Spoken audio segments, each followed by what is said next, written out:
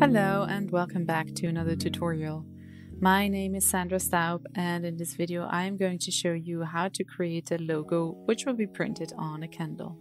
Specifically, what we're doing today is designing a logo for my Mind and Heart collection that I am doing together with Joël Fantoli.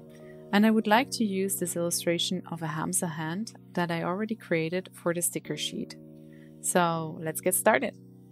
I am now in Vectornator and I am going to create a fresh canvas for the logo that is going to be applied to the candle jar. So naturally, I want the size of the canvas to match the size of my product. But let me show you the candle very quickly so you can know what I have in mind. This is the candle that I selected together with Joël, and I'm going to design a logo that fits in the center here. And I know that the size of the candle is 9 centimeters high. So back in Vectornator, I am preparing my file accordingly. I'm renaming the new custom size that I'm creating. If you've seen any of my previous videos, you know that I like to stay neat and organized. And then I am changing the unit of measurement to centimeters so that I can create a canvas that is 9 by 9. Okay, now we can begin with the fun part. Since I already drew the hand previously, I'm just going to bring it into my new document. But before that, I'm setting up my background layer because I don't like working with a transparent background. Let's create another layer and copy my Hamsa hand design from my sticker sheet file and paste it here. I copied it in parts, hence the need to realign these two objects again here.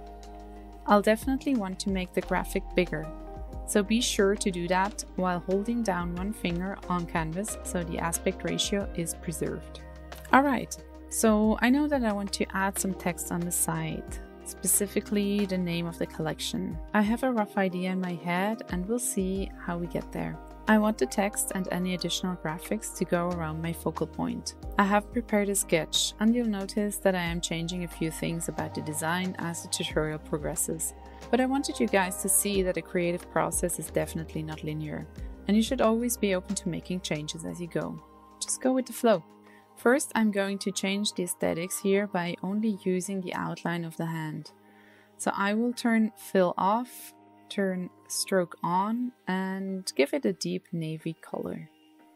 I'm not actually designing a black and white logo, which is something that I usually do when I'm working with client.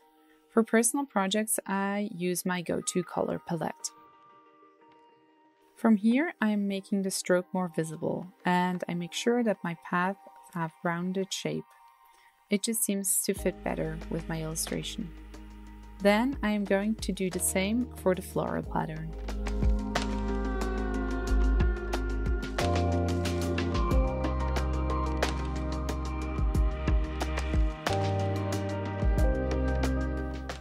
Okay, from this point I personally feel that there is more white space in this area at the bottom. So the line visually seems a bit thinner than the contour of the leaves. For this reason, I'm going to make this line a bit more prominent. It is only 0.1 points thicker, but the devil is in the details. Then I am adding the lines that separate each finger, making sure that they're perfectly aligned with the other paths in my design.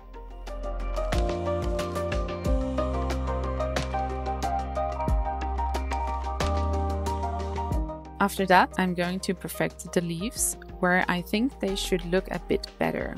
Remember, the node tool is vital for refining these small details in your illustration. I'm happy with the look of the hand, so now it's time for the typographical composition. The name of my collection is Mind and Heart, as you already know. So I'm going to write one word on each side and play around with fonts, alignment, and orientation.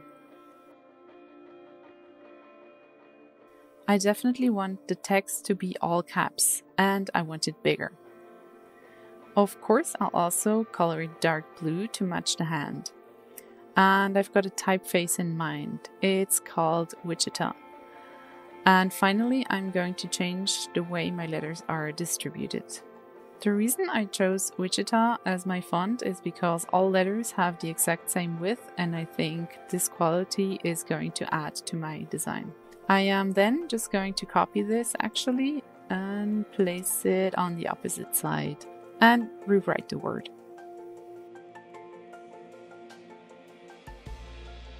Next, I want to create the shape that goes around the hand and connects the two texts.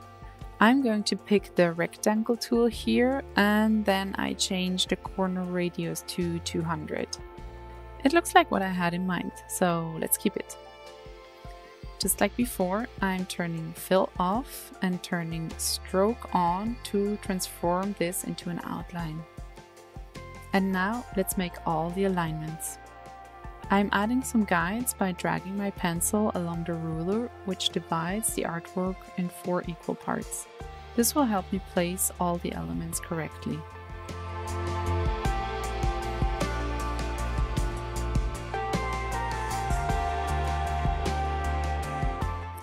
Alright, after a few more adjustments, I think that I'm going to write the text in the classic way, but then I'm going to rotate it along the oval path.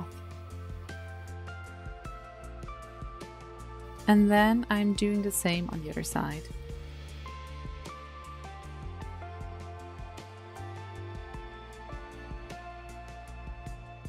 Time to focus on the tracking of my text a super important aspect of typography and logo design. If you're not familiar with the concept, tracking refers to the optical spacing between all letters of a word. So if I increase the values of my tracking slider here, the text will look more spaced out.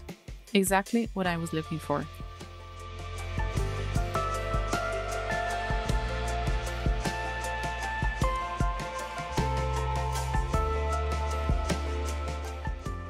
Here I've actually decided to add even more negative space between my letters. And I'm going to show you another way to do it. It's kind of like cheating, but I add a space between each letter to create even more room in between my characters. And with that, I'm finished with this part of the design. Looking at my composition, I notice that the texts are not at the same height. So to align them properly, I'm adding a few more guides.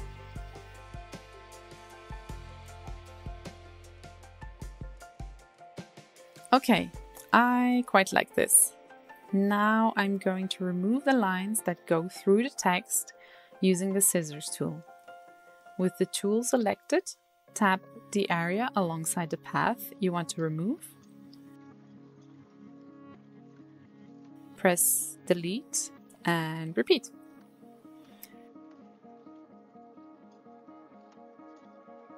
Using my trusty guides again, I am checking on the alignments of my cuts.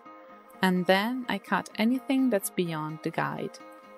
Symmetry is super important in this particular design and just in general for me.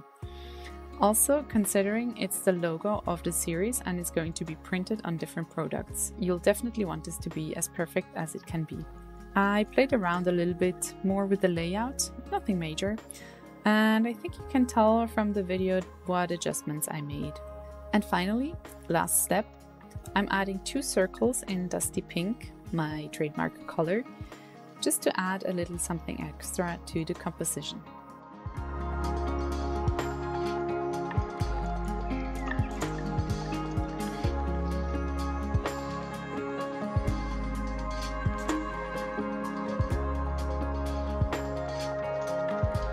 Now that my design is done, I'm scaling it and adding it to my candle mockup so I can visualize the final product better. Alright, this is the preview of the candle. I'm very happy with how the logo works and I feel that all the elements fit very nicely together. And this is how the candle turned out. I'm super excited to see my logo has come to life and the candle smells so nice. This is my first time doing a project like this and I honestly enjoyed every second of it. The candles will be available on my shop or through my Instagram, so be sure to check them out. Let us know in the comments below if this tutorial helped you in your own project. Joelle Fantoli and I are adding even more items to our collection this year and we are documenting the process with Vectornator. So stay tuned for those videos. See you then. Bye!